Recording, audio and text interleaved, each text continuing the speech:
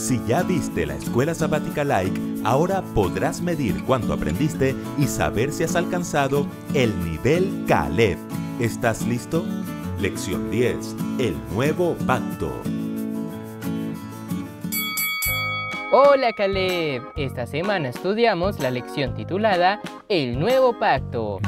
Y como siempre, realizaremos 15 preguntas acerca del video de la escuela sabática like.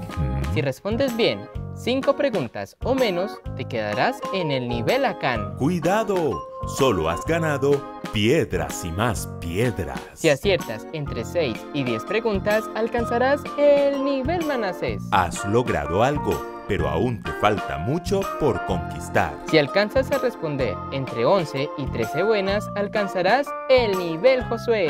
Has ganado un gran territorio, puedes dormir tranquilo. Y si aciertas 14 o 15 preguntas, alcanzarás el nivel Caleb. Eres todo un conquistador y un vencedor de gigantes. ¿Preparados? Comencemos.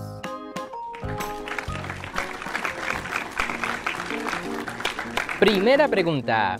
¿Dios anunció un nuevo pacto a través del profeta? A. Isaías. B. Malaquías. C. Jeremías. D. Ninguno de los anteriores.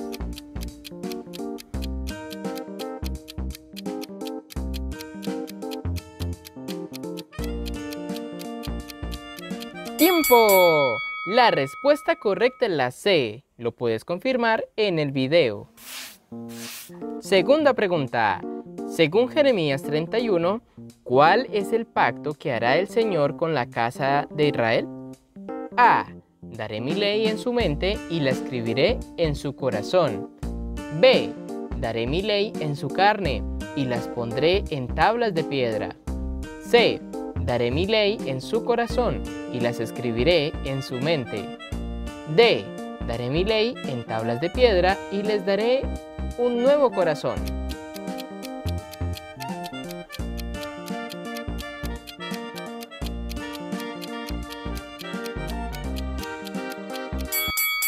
La respuesta correcta es la A. Pero este es el pacto eterno que haré con la casa de Israel después de aquellos días, dice Jehová. Daré mi ley en su mente y la escribiré en su corazón, y yo seré a ellos por Dios, y ellos me serán por pueblo. Tercera pregunta. ¿En qué texto se menciona que Dios nos reconcilió consigo mismo por Cristo? A. Primera de Corintios 5:18. B. Segunda de Corintios 5:18. C. Primera de Corintios 18:5. D. Segunda de Corintios 18:5.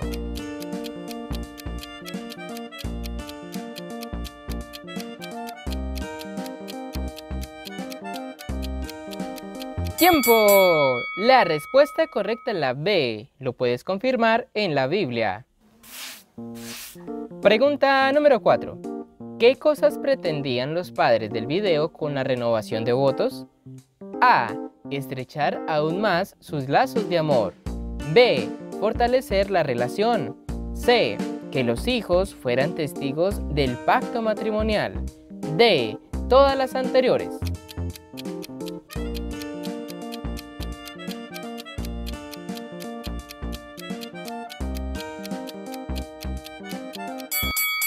La respuesta correcta es la D. Lo puedes confirmar en el video. Quinta pregunta. En el antiguo y nuevo pacto, el autor y promotor es diferente. Eso es A. Falso. B. Verdadero.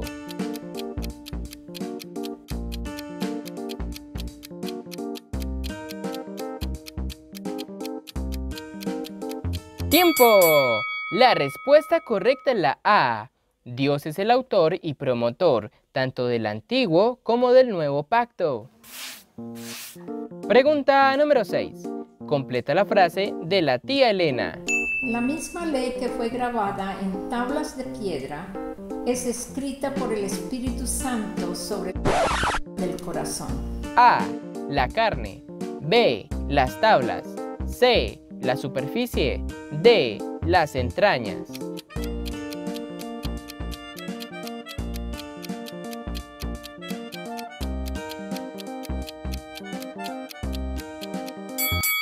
La respuesta correcta es la B. La misma ley que fue grabada en tablas de piedra es escrita por el Espíritu Santo sobre las tablas del corazón. Pregunta número 7. ¿Qué es lo que permanece para siempre tanto en el antiguo como en el nuevo pacto? A. La manera de escribirlo. B. El material en que se escribieron. C. Los principios básicos del pacto. D. El idioma en que se escriben.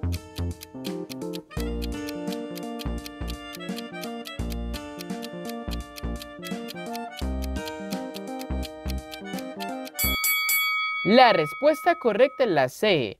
Lo puedes confirmar en el video. Pregunta número 8. ¿Dónde se encuentra el siguiente pasaje? Y les daré un corazón, y un espíritu nuevo pondré dentro de ellos, y quitaré el corazón de piedra de en medio de su carne, y les daré un corazón de carne, para que anden en mis ordenanzas, y guarden mis decretos, y los cumplan, y me sean por pueblo, y yo sea ellos por Dios. A. Eclesiastés 9, 12 al 14. B. Isaías 31 del 13 al 15. C. Ezequiel 11 del 19 al 20. D. Ninguna de las anteriores.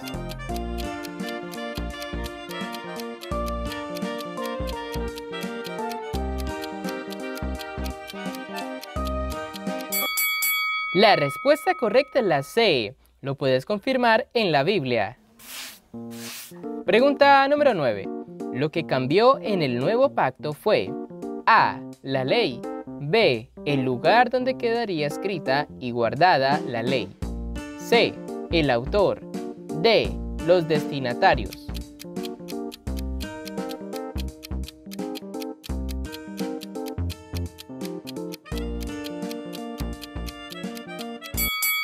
La respuesta correcta es la B. La ley estaba escrita en tablas de piedra.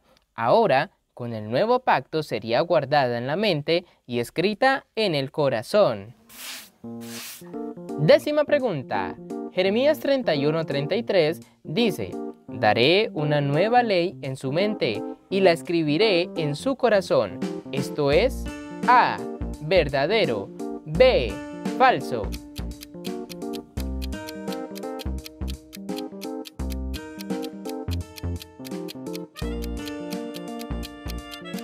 ¡Tiempo! La respuesta correcta es la B. Jehová no daría una nueva ley, sino la misma ley. Por eso dice, Daré mi ley en su mente y la escribiré en su corazón. Siguiente pregunta. En el pasaje del nuevo pacto en Jeremías 31:33, Dios deja muy claro que el objetivo sigue siendo A. Que se sientan pecadores. B que su pueblo se centre en su ley. C. Tener una relación íntima y real con sus hijos. D. Que se arrepientan de su maldad.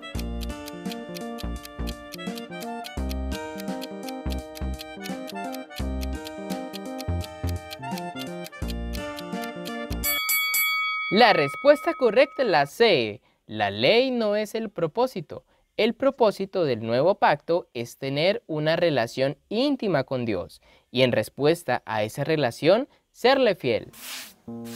Pregunta número 12. Este es un mejor pacto porque Cristo es el verdadero Cordero inmolado que derramó su sangre por nuestro pecado y además es nuestro verdadero sumo sacerdote celestial que intercede en nuestro favor. Eso es A. Verdadero. B. Falso.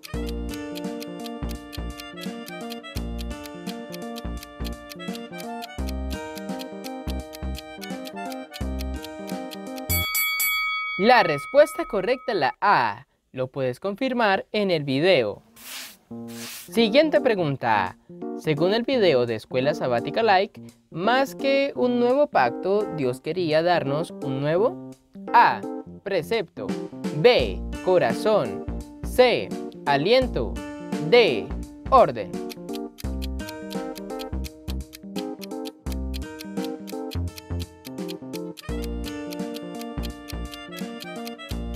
¡Tiempo! La respuesta correcta es la B. Lo puedes confirmar en el video. Pregunta número 14. Según el video de la Escuela Sabática Like, la renovación de votos, tal como su nombre lo indica, incluye como parte fundamental la lectura de ¿cuáles votos? A. Unos nuevos. B. Unos viejos. C. Los mismos. D. Ninguno de los anteriores.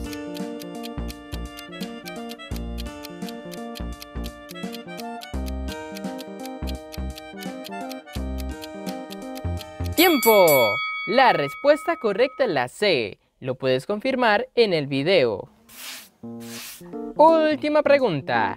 De acuerdo a Hebreos 9:12, ¿dónde entró Jesús una sola vez y para siempre? A. Al santuario. B. Al cielo. C. A la cruz. D. A los atrios celestiales.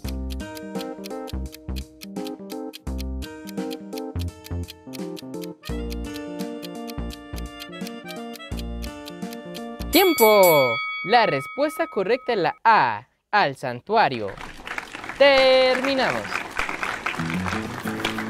Ahora déjanos un comentario diciéndonos a qué nivel has llegado. Si alcanzaste el nivel Caleb, ¡felicitaciones! Y si no, la próxima semana tendrás una nueva oportunidad de lograrlo, porque siempre debemos apuntarle al nivel Caleb. Recuerden que juntos podemos crecer más.